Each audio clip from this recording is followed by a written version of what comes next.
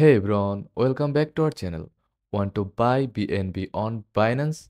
Today I'm going to show you how to buy BNB on Binance. Here's a quick and easy guide to help you get started. First of all, open your Binance app and log into your account. Now tap on the Markets tab and type BNB in the search bar. Select your preferred trading pair like BNB USDT Tap Buy and enter the amount of BNB you want to purchase. Once ready, tap Buy BNB to complete your order. Now go to Wallets, then select Spot to confirm your BNB is now in your account. And that's it. You now own BNB on Binance.